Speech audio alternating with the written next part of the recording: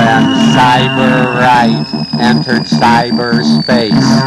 It was a blessing for the whole human race to take these pictures, songs, and art into the cyberspace internet heart. Bruce played guitar and formed a band.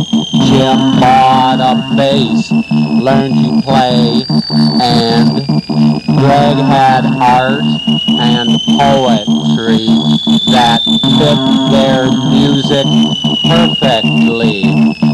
Recorded music, jammed a lot, then moved on a life they got. Two decades went by real fast.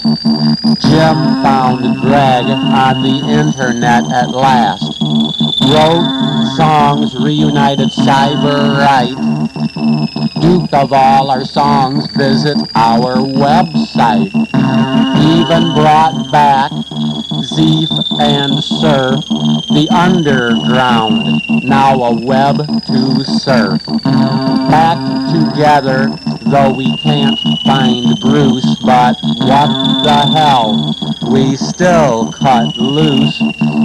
Get on the web, buy our stuff, cause we still ain't rich enough, but play the music, that's the key.